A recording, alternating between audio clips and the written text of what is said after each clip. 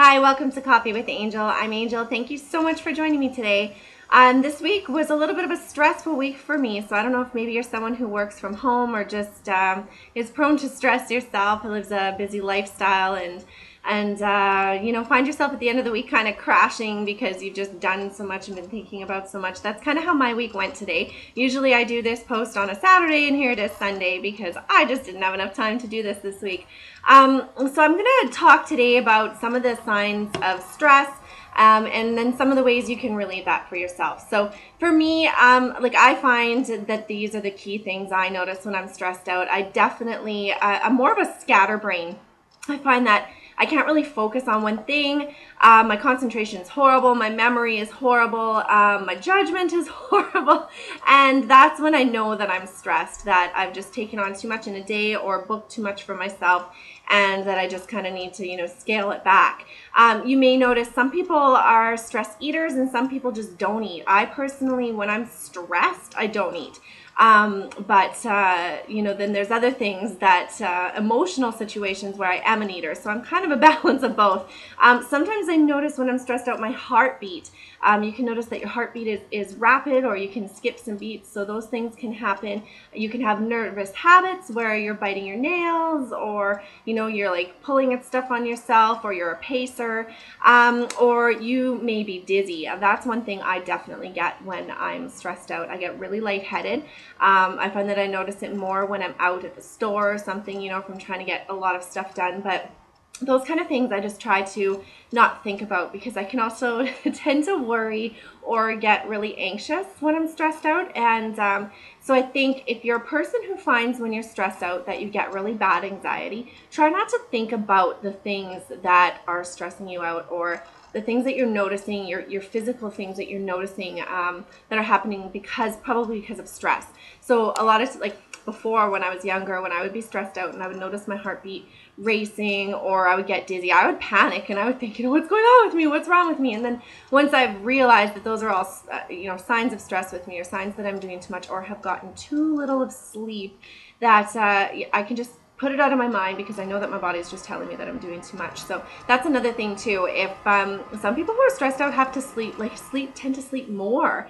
Um, and then there's some people that like me that just get way too little sleep. So um, what else? You might be more prone to illness. Um, and uh, procrastination is something that happens too when you're stressed out. Um, you tend to have so much going on that you can't mentally handle any of it, so you put it all off to the next day, and then you end up repeating that cycle again because you haven't taken care of anything. So, again, it comes down to me um, for me to just make a list for each night before I go to bed. I make my next day's list. I've got my schedule that I follow every day, and I fit some things in there, and whatever I've put on my list that you know doesn't work with what's on my schedule. I realize that what's on my schedule needs to be set aside for that day. I can resume my regular schedule tomorrow so don't get stressed out by not being able to do everything. So some things you can do to relieve your stress and this is the healthy lifestyle part of this because that's what today's post is. It's not business.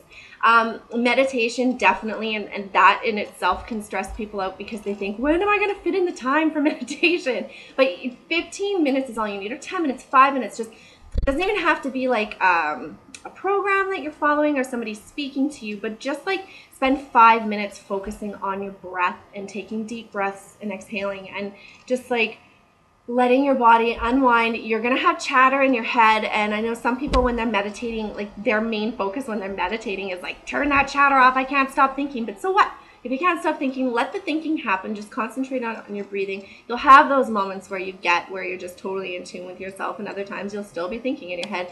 Um, for me, exercise, like even if I'm dragging myself around all day and don't feel like doing a single thing um, because I'm so tired. I know, and I think I've said this before, that getting on that treadmill, even for a 15 minute power run, like at the fastest speed I possibly can go, is just going to totally, um, it changes my thoughts. It changes how stressed out I am. It relieves stuff. Um, punching bags. I love putting on some gloves and going at a, a punching bag and doing that um, or you know just any type of exercise that you can fit in will help you with your stress levels and yoga definitely is something that uh, you know at least once a week give your body that relaxation and stretching and just that time to yourself eating right of course and other things that'll increase your endorphins. I mean, some people tend to go to the drinking and smoking side of things when they're stressed out. Um, for me, I mean, I'm not gonna lie, a glass of wine definitely helps me unwind some nights, and I definitely allow myself that. Um, but you don't want to tend to those things that are harming you focus on eating right, getting your right amounts of fats, proteins, and carbs during the day. And uh, and again, supplements definitely. You need to be making sure you're getting the right vitamins because if you're being stressed out and you're not eating properly and you're not taking care of yourself, you're not sleeping right, you need to be making sure that you're getting those vitamins. And then I mean, there's other stuff you can do if you're in a relationship that helps with endorphins, but I won't get into that. But that is also a good stress relief. So um, yeah, and I mean, sometimes even for me, just a piece of dark chocolate can change your mood. Um, so just be aware of when you're stressed out and don't take it out on other people. Um, and try to just realize that today is one day and tomorrow is a new start. And don't beat yourself up for what you can't get accomplished or um, don't try to fit too much into the day. We're all given the same amount of time. And, you know, there's part of that that we need, we, we're meant to enjoy life, not be stressed out by it. So if you would like any more tips like that or have any questions, please call or please email me at coffeewithangel at outlook.com. I'd be happy to talk with you.